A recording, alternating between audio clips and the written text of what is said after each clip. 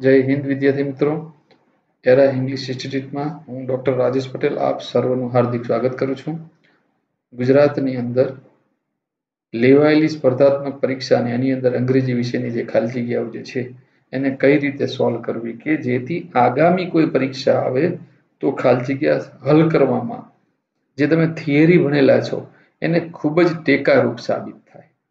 એના માટે આ એક શૃંખલા જે છે, એ બહાર પાડેલી છે. તો આજે આ એના સાતમા એપિસોડમાં આપ સર્વનું હાર્દિક સ્વાગત છે. તો શરૂ કરીએ ખાલી જગ્યા. બસ વીડિયો ગમે તો લાઈક અને શેર કરતા રહેજો.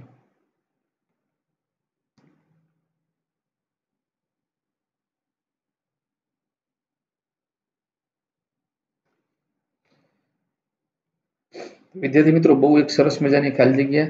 જે પરીક્ષા G S S S B SIP બે હજાર ઓગણીસ એસઆઈપી બે હજાર ઓગણીસની અંદર આ ખાલી જગ્યા પૂછાયેલી હતી, જેને આપણે સોલ્વ કરવાનો અને સૈદ્ધાંતિક વસ્તુને સમજવાનો પ્રયત્ન કરી બહુ સરસ ખાલી જગ્યા છે.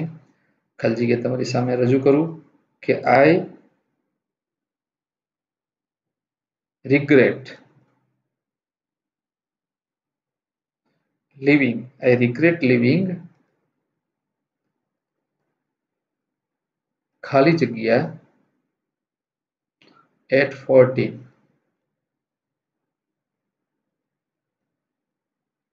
હવે ચૌદ વર્ષની ઉંમરે મને શાળા છોડવાનો એક પસ્તાવો છે રિગ્રેટ મને એક પસ્તાવો છે. ફોર્ટીન ચૌદ વર્ષની ઉંમરે મેં શાળા છોડી દીધી. એનો મને પસ્તાવો છે. જેના ઓપ્શન આપની સમક્ષ રજૂ કરું હું. તો અહીંયા પહેલો ઓપ્શન છે એટ સ્કૂલ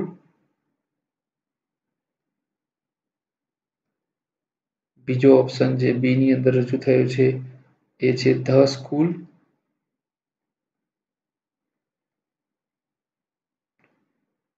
અને સી ઓપ્શનમાં રજૂ થયેલો ઓપ્શન છે ઓફ સ્કૂલ અને ડી ઓપ્શનની અંદર રજૂ થયેલો છે option school so now we have started તો આને હલ કરવાની આપણે શરૂઆત કરીએ. તો ફર્સ્ટ થિંગ એ વિચારવાનું કે ખાલી જગ્યાનું સ્વરૂપમાં જોવા જઈએ આપણે નિરાતે તો આર્ટિકલ સ્વરૂપ છે અને પ્રેપોઝિશનને સાથે છે. માનો કે એટ અને ઓફ ને જોઈએ તો પ્રેપોઝિશનનું ફિલિંગ આવે.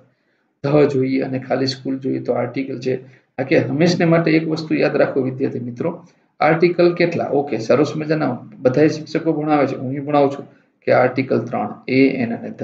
મારી ના નથી, પણ જેટલું તમે એ એન ને ધ તૈયાર કરો ને એની સાથે સાથે નો આર્ટિકલને પણ એટલું ને એટલું તૈયાર કરો. સો તો ઓમિટ તો આ ચાર વસ્તુ છે. આવું તમે મગજમાં રાખો. અને દરેકનો પચીસ પચીસ ટકા હિસ્સો છે. એટલે કુલ સો ટકા થયું. સો જ્યારે ભણવા બેસો, જે શિક્ષક પાસે બેસો, યુટ્યુબના માધ્યમથી બેસો તો એ ક્યાં લાગે, એન ક્યાં લાગે, ધ ક્યાં લાગે, ક્યાં આ ત્રણેય શબ્દ ન લાગે, એનો એક એનો એક ભાગ જોવા જાવ તો નો આર્ટિકલ સો ઓલવેઝ હંમેશને માટે નો આર્ટિકલ પણ તમે સાથે સાથે ભણતા રહો.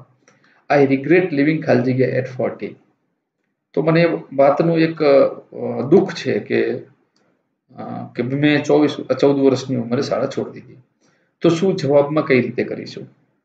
I regret living at school I regret living the school regret living of school અથવા તો ખાલી સ્કૂલ આમાંથી કયો ઓપ્શન આવશે? તો આવી ખાલી જગ્યા સાહેબ લિટરલી આપણને મુંજારામાં મૂકી દે બધા જવાબમાં મજા આવે.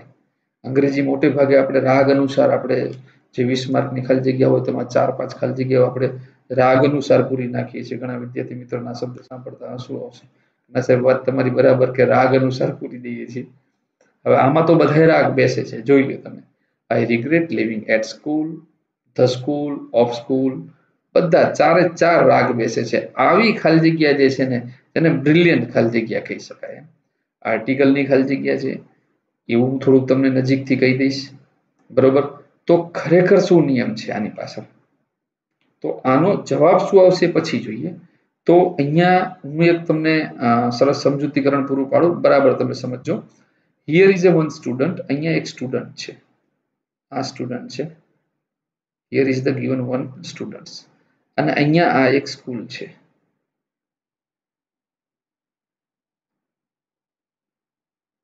આ માનો કે સરસ મજાની એક સ્કૂલ છે કે ભાઈ ક્રિએટિવ ઇન્ટરનેશનલ સ્કૂલ માનો કે આ સીઆઈએસ નામની સ્કૂલ છે.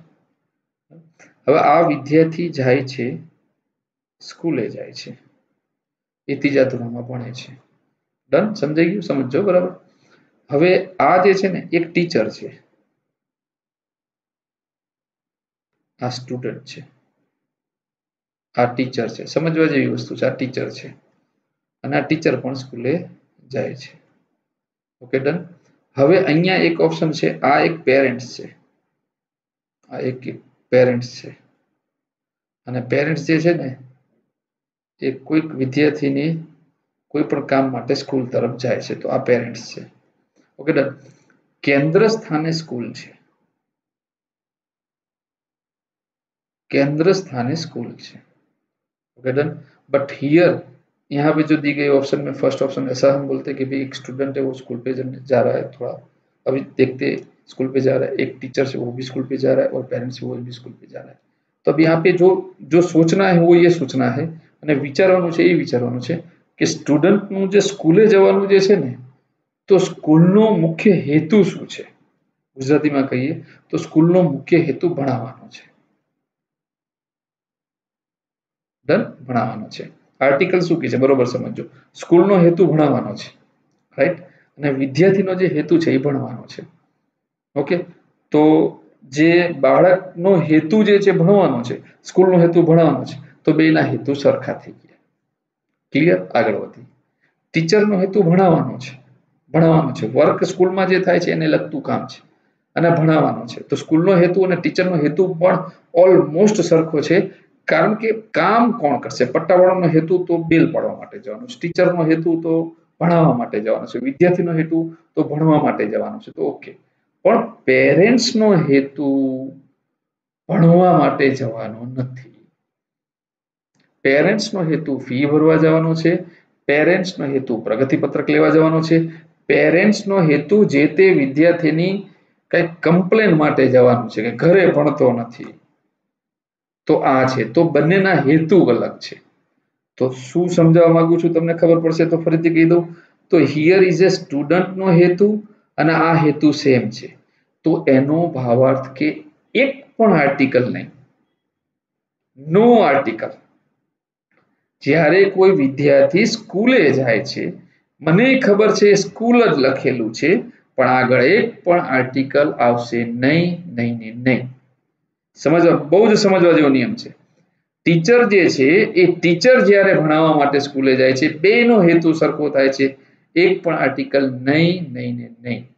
પરંતુ જ્યારે કોઈ પેરેન્ટ સ્કૂલે જાય છે ત્યારે બંનેના હેતુ અલગ અલગ થઈ જાય છે અને એટલા માટે ત્યાં આર્ટિકલ ધ આવશે.